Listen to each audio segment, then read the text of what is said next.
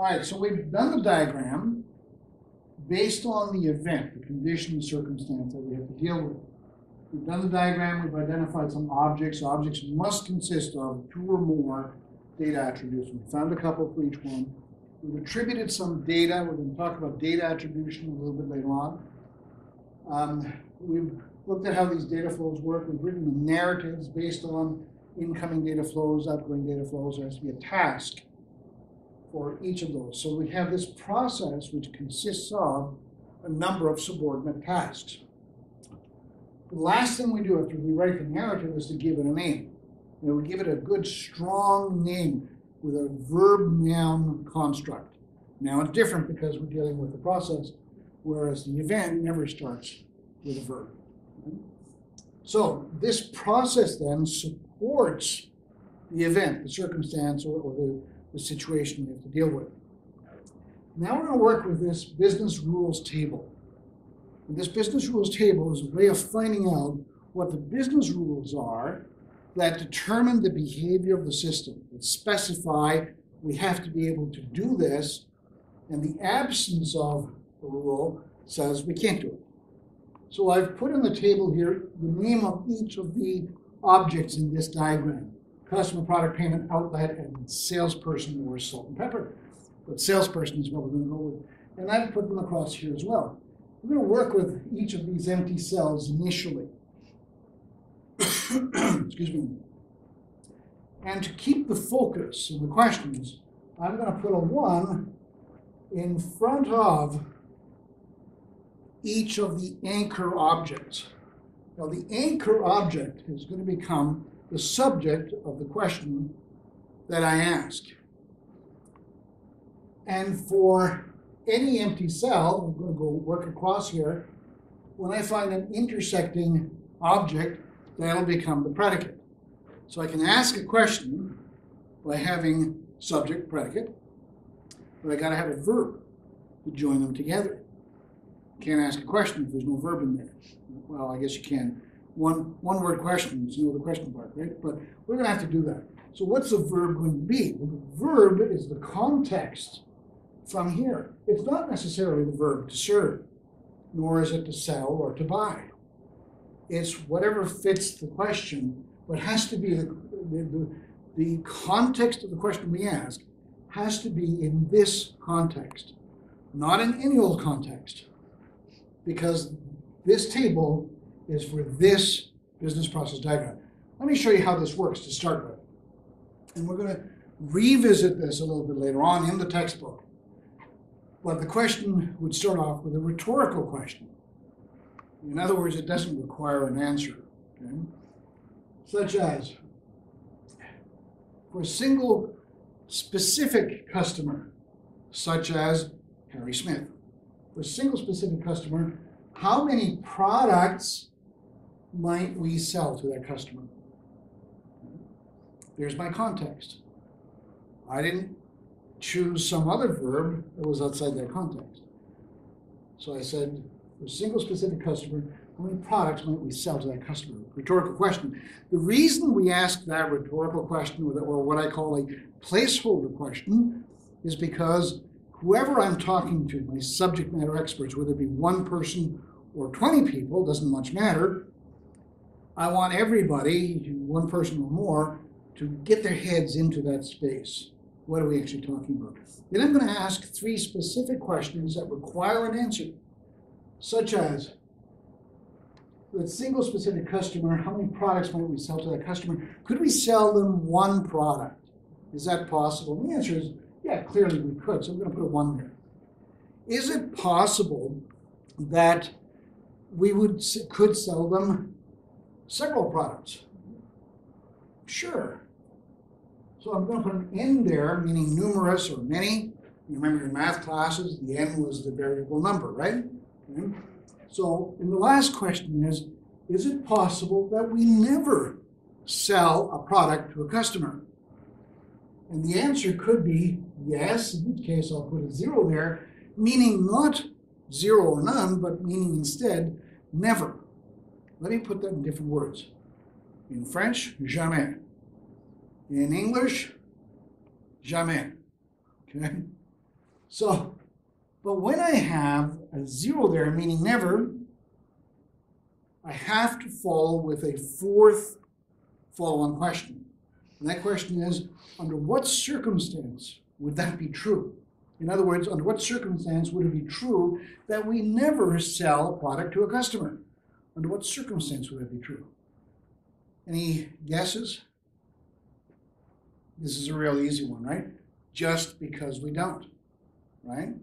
Or the customer saw the product that they asked for, but they didn't want it after all when they looked at it. They didn't like the price. They didn't, they changed their mind. Any number of different things.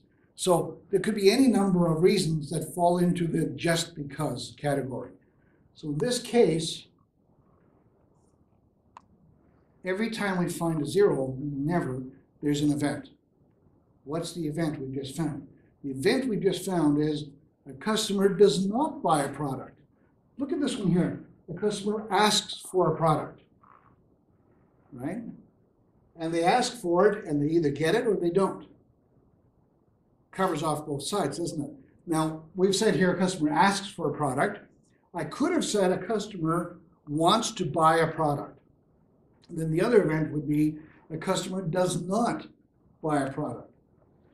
So the event here is a customer does not buy a product, but we've really covered that off in here, so it's done. We don't have to do anything with it because it's stated as a customer asks for a product, covers off both sides.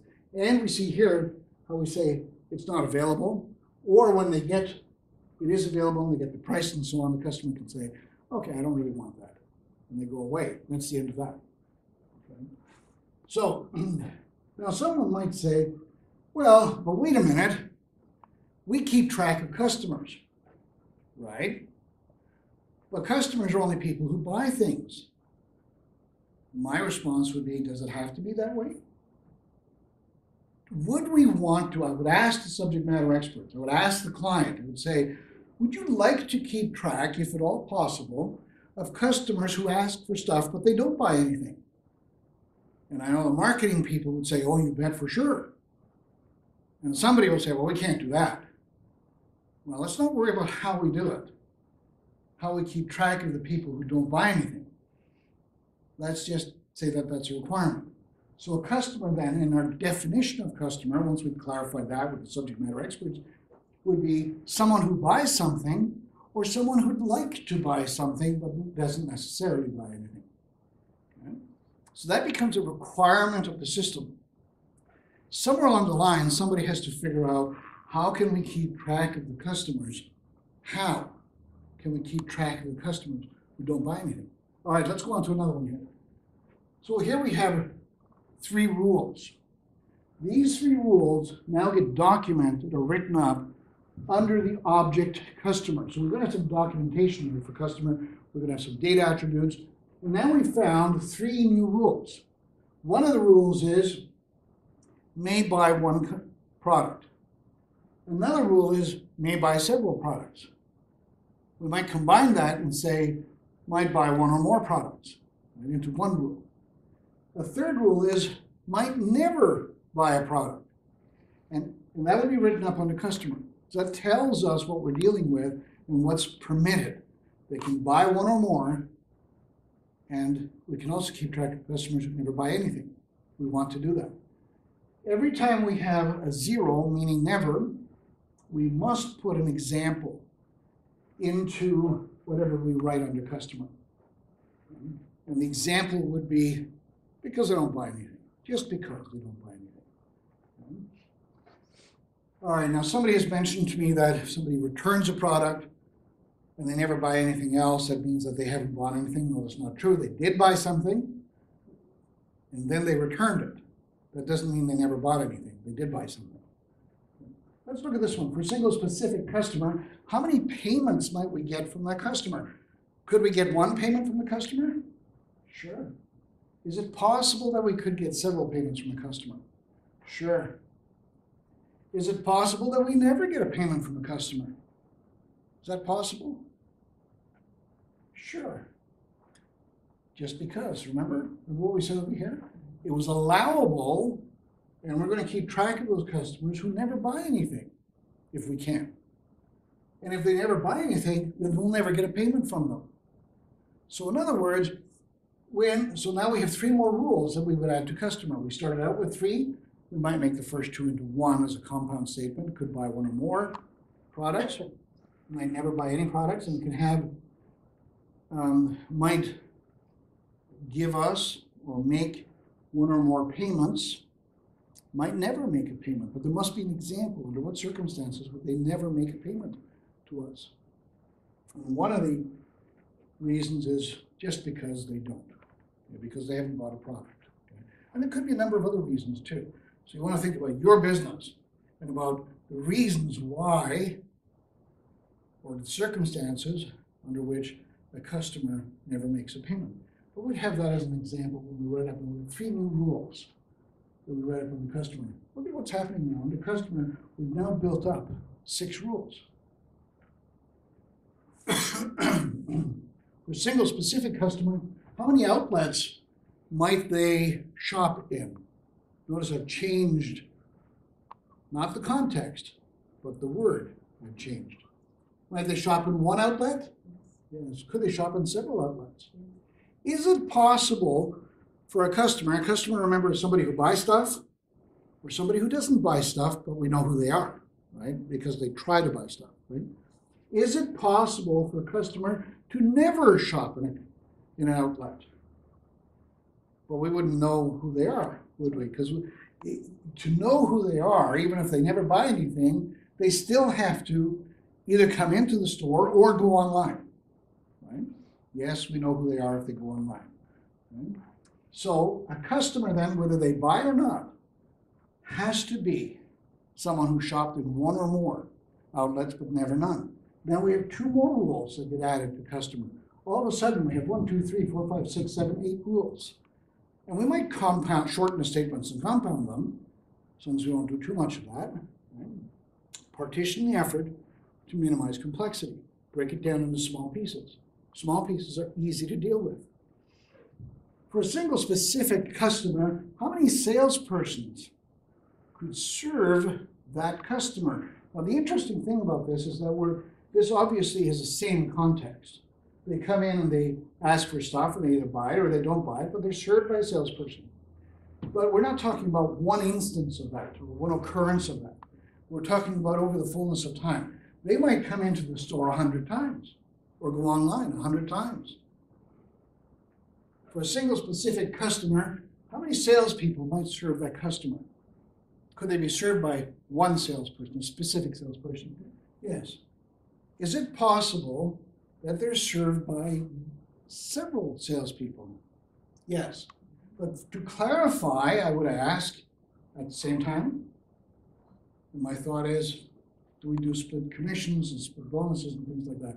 And let's, for sake of argument, say that the subject matter experts say, no, not at the same time. At one time, one transaction is one salesperson. For a single specific customer, is it possible but they're never served by a salesperson? Aha. Now you see, now we need some business knowledge, don't we? Right? Because it depends, doesn't it? Let's say for a moment that I had a subject matter expert who was in the room and I asked that question I said, Is it possible that a customer might never be served by a salesperson? In other words, we know the customer, but they're never served by a salesperson. Never served by a salesperson. And let's assume for a moment that the subject matter expert said, Well, it, it depends. Because people do say things like, It depends. Or they say, Sometimes or they say, oh, it could be, maybe, maybe. Right? Now, that sounds like they're obfuscating. It sounds like they're fuzzifying. It sounds like they're being evasive. They're not really being evasive.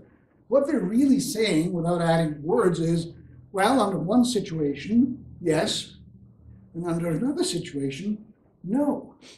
So, as an analyst, I have to recognize that when they say maybe or sometimes or could be, they're really saying Have different situations to deal with.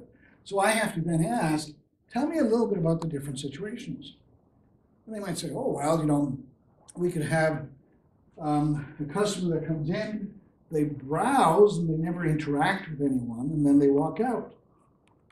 And then I say, oh, well, so we wouldn't even know who they are, right? Oh, that's right. Okay, fine. Okay. The other situation is they talk to a cashier. Well, is a cashier considered to be a salesperson? Well, why are we keeping track of salespeople? We keep track of salespeople. What does that enable us to do that we couldn't do if we didn't keep track of them? Well, it enables us to pay commissions. All right. So we keep track of customer salespeople because we want to pay commissions. That's a dialogue I'll be having with the subject matter expert. Would that cashier get a commission? No, they would be directed to a salesperson. Okay, so whenever there's an inquiry, there's a salesperson. Otherwise, if they leave the store and so on, even if there's an interaction with the cashier, then there's not. We don't even know who they are. So in other words, there's always one or more salespersons if we know who they are and if they're asking about something. Do I understand that correctly? Okay. So in other words, then for a single specific customer, there must be one or more salespersons that serve that customer over the fullness of time. So far, so good. So we've added two more rules, and we've said there must be one or more that serve the customer over the fullness of time. And that gets documented as a rule under customer. All of these get documented as rule under customer. But I heard something else as we were talking. I heard that we pay commissions, which nobody had told me about yet. Is that correct? We pay commissions? Right. Do we want to keep track of that in the system that we pay commissions to these? The answer is yes. Okay. So I'm going to put it is time to pay commissions to a salesperson. Is that right? Okay. All right. So as an analyst, I'm going to record that because I heard it. Now, I'm going to get these different events many different ways. I found one here with zero, which was a customer doesn't buy a product. But that's really part of this, isn't it? So I've already got it. But it was an event. Okay? Here, a customer doesn't make a payment. But I also have that one here, don't I? Customer doesn't make a payment. Now I could write these up for clarity's sake, and I probably should, and you should too, right? But that's covered here, therefore I don't have to add it to anything. As long as I document that I've got it somewhere. Okay? And I heard it's time to pay commission to a salesperson. So I've written it down, I'm going to leave it there. I'm not going to talk about it. I'm not going to go there because I'm going to stay focused on what we're doing now. I'm not going to go wandering all over the place because sometimes when we do that, we have difficulty getting back. All right, so I'm going to not do the whole table. I'm just going to do a couple more elements because you get the idea. You know how this works. And in your workbook, there's some precise information on how this works. In the textbook, Mastering Business Systems Analysis, there's a wide discussion on this in many different situations. So you want to read that. And if you haven't got a book, you should get one. Right? All right. So for a single specific, I'm going to go to product here. For a single specific product, how many customers, such as lime green loafers, size 13, how many customers might buy or want to buy that product? Notice the context again is this process, but I've changed the verb to make sense of the question. So for single specific products such as lime green loafers, how many customers might buy that product? Might one customer buy that product? Sure. Is it possible? I know it's stretching, but is it possible that several customers might want to buy that product? Yes. Is it possible that no customer ever buys that product? Let's say yes, it's possible that no one wants to buy that product. okay? So I have to ask the question then, under what circumstance would that be true that no customer would ever want to buy the product? Well, it's like being over. Right? So, you know, it's just a bad choice of product, isn't it? Maybe it's what we call a dog product. I don't know why we want to malign dogs, you know, but you know, it's so so what how it's an event though, isn't it? And that is that product doesn't have any demand. I found that through that question and that answer. And I'm going to put it up over here. I'm going to, I'm going to ask if there's a marketing person that's part of the subject matter expert. I'm going to say, do we want to keep track of products that we sell which there's no demand? The answer would be yes, in which case I'm going to put it over here and I'm going to say product has no demand. And I'm going to leave it there. I'm not going to spend time on it. I'm not going to talk about it. I'm not going to go there because I want to stay focused on this and nothing but this. Later on, for what I haven't worked on, I've worked on the first one, right? I'm going to come to another event. I can take in any sequence I like. I don't have to go to the next one. I can go to the last one or middle one. I'm going to go to the one that I feel comfortable with. And I'm going to do a process diagram, a business process diagram for that. And I'm going to do a table for that. And I'm going to have different rules, even if some of the objects are the same, I'm going to have different rules. I might have the same one and zero, but there'll be a different verb. And because there's a different verb, there'll be a different context, therefore it'll be a different rule. So I can get a lot of rules that way in terms of what must be permitted in terms of interaction of data here, or what cannot be permitted in terms of interaction of data. So those become a business rule. And you'll notice that my list is getting longer. Now, sometimes it doesn't. Sometimes you just add a little. But remember I said if you can find one or two or three events, from that you'll be able to find all the other events. We just started this table and we found a couple more. For a single specific product, how many payments might we receive for that product? Well, we could receive one payment, several payments. We might never get a payment. Under what circumstance might we never get a payment? Well, nobody bought it, right? It goes back to a customer doesn't buy, right? Or a product has no demand, that kind of thing. Right? A product has no demand. All these rules get written up under the anchor object. The questions you'll have noticed are exactly the same in structure and organization. Placeholder question for a single specific salesperson. How many customers might be served? Context, choose the verb, the verb construct might be served by that salesperson. Rhetorical, right? Placeholder. Go on to, for a single specific ser- salesperson, excuse me, might they serve one customer? Yes. Might they serve many or several? Yes. Might they never serve a salesperson, uh, a customer? And if the answer is yes, right? But notice the answers now. Okay? If the answer here like that, and the answer is yes, a single specific salesperson, such as Harry, never serves a customer, I'd be asking then, under what circumstance would that be true? Now, notice the use of the word circumstance. Remember earlier I said that an event, here's an event, here's an event, an event is a situation or a circumstance. So I'm really saying, what's the event that applies? But if I say to somebody, so what's the event that applies? They won't understand the question. That muddies the waters. Or some other musician, right? So we have to ask in their language, under what circumstance would that be true? What situation, and what situation would that happen? Which is really saying, tell me about the event. I'm looking for the event. I'm looking for stuff you need.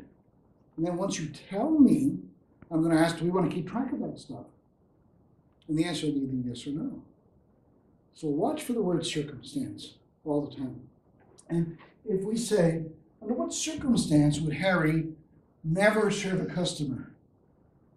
Well, we had a salesperson once, started on Monday, and he died at noon.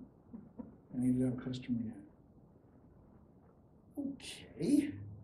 Do we want to keep track of employees who cease for whatever reason, whether they disappear, they don't show up anymore, whether or not they're terminated for some reason, or whether or not they're deceased. We want to keep track of that. The answer is no, we just move on. It's a good example, but no. The answer is yeah, we want to keep track of that. It sounds like HR type stuff or human resources type, type stuff. Then we put it over here. Employee or salesperson in this case, right? Employee ceases. So you see, we have, always have to listen to what do things mean? What are the meaning things? And an, to an analyst, it's very interesting because a good analyst has to be able to deal with abstraction and has to be able to deal with detail.